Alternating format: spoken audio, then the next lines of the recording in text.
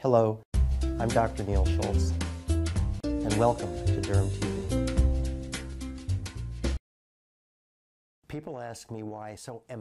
Многие меня спрашивают, почему я так настойчиво рекомендую всем, кто с акне, использовать препараты на безжировой основе или oil-free. Как вы знаете, есть несколько факторов, влияющих на образование акне, и один из основных заключается в излишнем выделении кожного сала.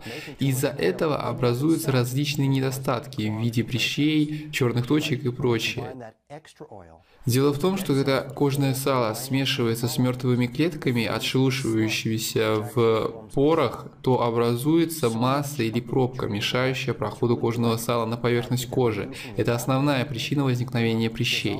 Именно поэтому в основном все лечение направлено на уменьшение закупорки пор, очищению протоков волосяных фолликул и улучшению отшелушивания клеток кожи. Нельзя допустить, чтобы в кожу попадали другие жиры и забивали и так закупоренные поры. Многие составляющие косметики способны проникать в поры и забивать их. Именно поэтому косметику надо всегда выбирать только oil-free или для проблемной кожи. If you have a question, please send it to me by visiting dermtv.com slash question. I'm Dr. Neil Schultz, and thank you for watching today.